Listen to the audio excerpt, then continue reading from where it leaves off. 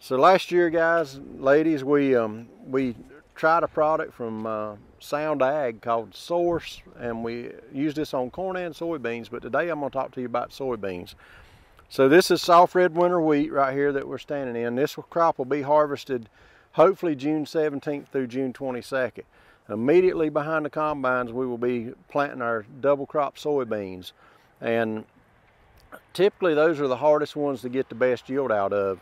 But last year using the source product, we seen some crazy stuff and it, it was actually something we wouldn't show to the public and, and I wouldn't even show it to our members because it was too big of a yield gap. And typically if I see a four or five bushel yield increase on soybeans, then I can believe it, but and I can trust it. But this right here was actually really, really, really good.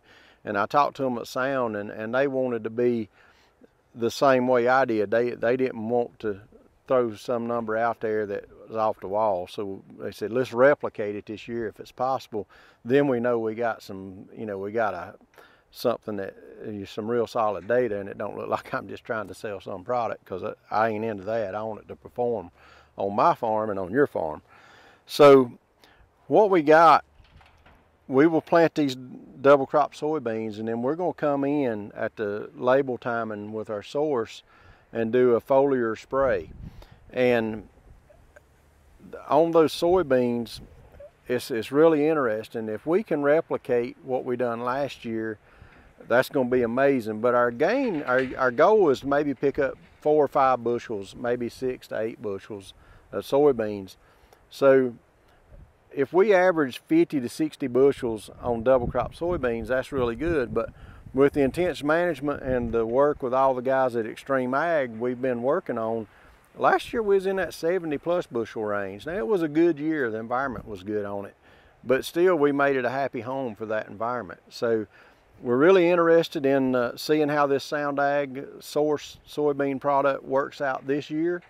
I really, I really got some real strong feelings about it and Actually, I'm to put it on several more acres than just a trial because uh, I, I feel pretty good about it because I know we used it properly last year on our double crop acres.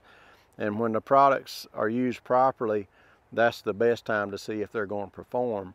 But um, again, it's a new product and we like more than one year data. But I think you're to be pretty happy and I would encourage you to buy some and try a 40 acre trial or a 50 acre trial or at least like 10% of your double crop acres or 20% and see because that is where we can pick up tremendous yield potential on them. Because if your full seasons are already yielding really, really good, you know, 80 bushel beans, it's hard to improve them to 85 and 90. But if you're in that 50, 60 bushel range double crop, it's much easier to bring it up to a 65 or 70.